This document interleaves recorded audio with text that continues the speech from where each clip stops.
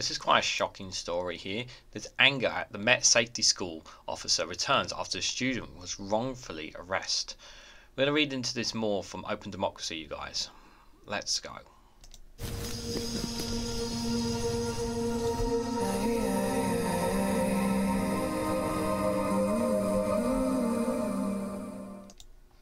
Good morning, good afternoon, good evening, wherever you are in the world. This is Regan Elite here with an article from Open Democracy with the headline that there's been anger at the Met Safer School officer's return after the student was wrongfully arrested. A community meeting was held in Lambeth to support the black Muslim student who was traumatized by the ordeal.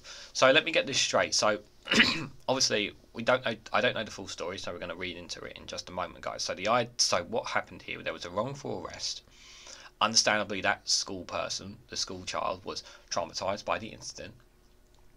And yet, that Met officer was allowed to come back to the school after it happened. That's not exactly a very good, very good picture to paint, is it? Um, that doesn't feel right in all, in, all, in any way, shape, or form. I mean, I'm just seeing this picture here. Um, this uh, says we keep our we keep our kids safe. Cops out of schools. No more safer school officers. Says police says over police community. Small guys man, Getty image here. So they don't want cops visiting their schools, which is that's not helpful. That's not a helpful um, helpful image whatsoever. And if they don't want them there, that's that's really breaching once more the trust that police officers are supposed to have within their communities. Now, obviously, when the police get things wrong, they need to apologise and, and own up to their mistakes. But I'm just wondering just how how much how many mistakes have the police made to get to a point where they don't even want them anywhere near their schools? That's worth uh, questions that need to be asked there.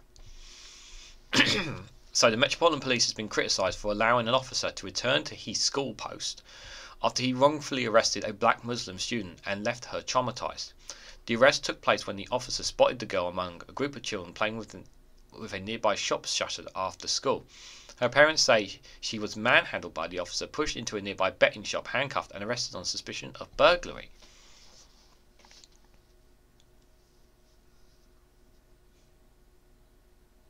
Really? We're talking about a schoolgirl here and are going to make suspicion on burglary and pushed her into a betting shop. Wow. This feels very out of order here. Police sent 14 vehicles to the scene during the incident in May last year, but the girl was de-arrested after police found no crime had been committed. Her family also said the girl's Habjib, Hab, Hibab, uh, Habjib was pulled off during the incident, which police deny, insisting it was already partially removed before the incident began. Something tells me that the police are selling porcupines here. 14 vehicles to the scene. Why do they need to send this is this is what I call if this is to be true, this is what I call a massive waste of police time. This right here. 14 vehicles. What do you need to send 14 vehicles to a scene like this? This is pathetic if this is to be true. The girl's mother told Open Democracy that her daughter was left traumatized by the ordeal and she was taken to hospital with bruising on her wrists. She said her daughter received no officer support from the school or the police. Oh wow, that's so horrible. She was in the middle of fastening. She was doing her GCSEs.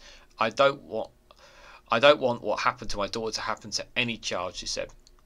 The officer had to take time off from the school because of an injury sustained at the incident, according to the Met. But earlier this month, there no notice from the police or school. The girl's parents discovered the officer was back at the school after hearing about it from the other daughter, the other daughter who goes there.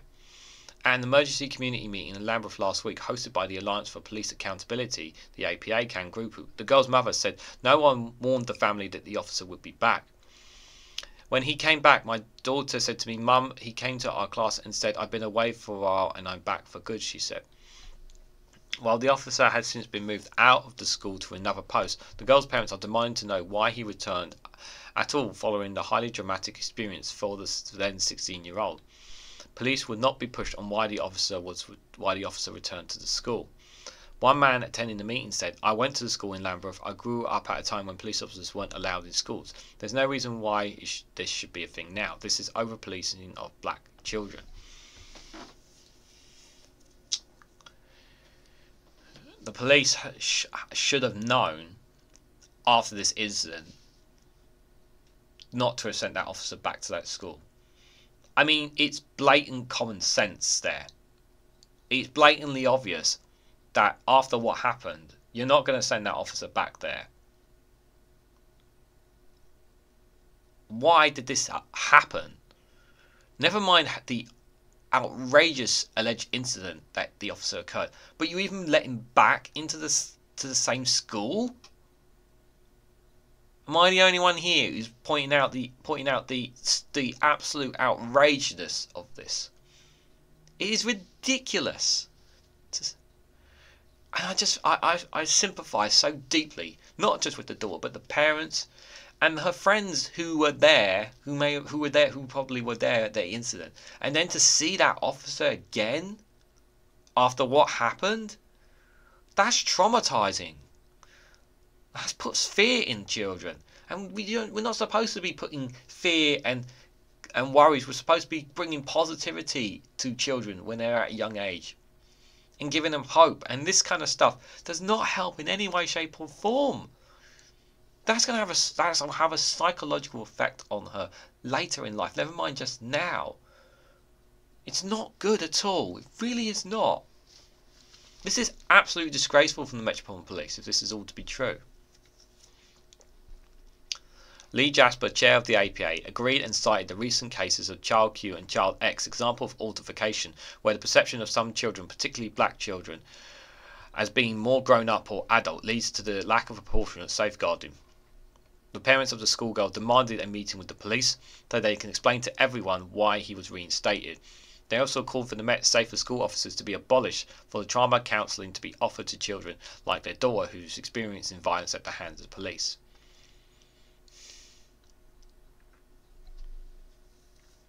There was no support for my daughter after she was arrested, the girl's mother said. What is the benefit of the Met Police having counselling with. I just, that's just, just. There, there's the reason why we've talked on this channel, if you've seen some of my previous videos, about how the Met Police have been handling themselves in London. Um, and I have to stress this again because I really do need to stress this because I need to stress this in every video because I really want to make this important. Not all police officers are like this. There are good police officers out there who do wonderful work, and I really have to emphasize that point, okay? Because we hear more about bad police officers than we do about good police officers. It's very important to emphasize there are some very good police officers who do some wonderful work. But again, when we hear stories like this, it just and it's been going on and on and on with many, many bad police officers. Just goes to show that the Metropolitan Police are just not adequate enough yet to do their jobs to protect the well-being of the citizens that they're supposed to look after. That's why I've said that reforming the police service is not good enough anymore. It's not working anymore. It needs to be dissolved and a new police force needs to be built up from scratch. I've talked about this before on many previous videos. A formal complaint about the wrongful arrest was made to the police in August last year, and the Met Police confirmed last week that it's still being investigated by one of its professional standard units. By the way, just for caveat, I did a video um, not too long ago. Um, from there was an article from Byline Times where only about one percent of complaints are being looked up by the police force when it comes to the complaints from them, and the whole police force. I'll put a link in the description if you haven't seen that, but it takes forever for them to chase up complaints. It really does. Just let me get rid of that. Lambeth Police at the time said so many police officers attended because of the officer had pressed the emergency button and requested more units for the fear of being assaulted. Fear of being assaulted? A schoolgirl! But the APA, which has supported the family, said that the children at the scene were simply trying to let the officer know the girl wasn't guilty of burglary. Earlier this month, another community meeting was held in Hackney to discuss Child X, the 13 year old black boy who was rammed off his bike by police and held at gunpoint after a Met officer mistook his water pistol for a real firearm. At the meeting, Hackney Borough Com uh, Commander James Conway admitted that the Met is institutionally racist, and he said he is trying to change things but came under fire from the audience for not doing enough. Our children are being violated and no one is doing about it, Jasper said. They're not doing enough about it. This is just a shocking case, and they're not helping themselves. Communities, how are communities supposed to feel safe when they don't have a police force that they can trust? Trust has been broken here. Another example of trust being broken between the police and the communities they're supposed to be supporting. This is not acceptable.